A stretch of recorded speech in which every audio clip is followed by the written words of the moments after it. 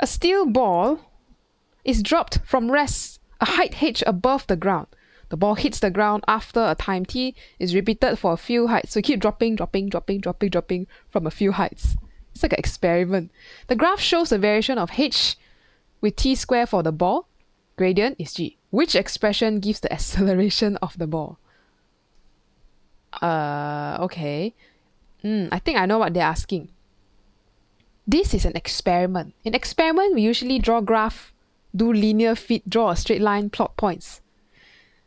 Can we think of an equation that links together h or distance travel with t square?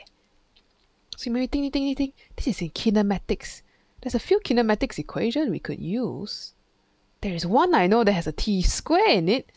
I bet it's going to be this one. S equals to ut plus half at square. But in this case, we sub in the values here. The height that you drop a ball down to ground, it drops down, is going to be h. Initial speed drop from rest means u is 0. So this uh this whole term here is 0. So you don't need to write. Then all that's left is half a t square.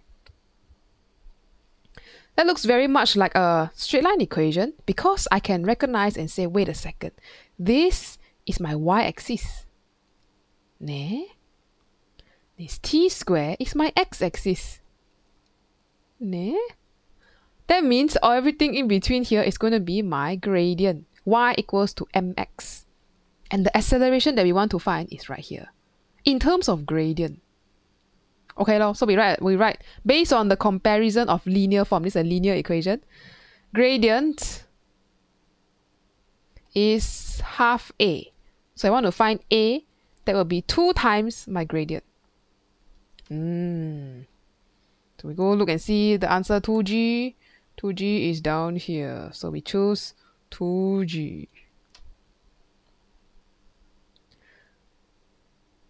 So it's good skill to have, especially when we have graphs where you want to find the straight line equation, linearize, use the gradient to find some value.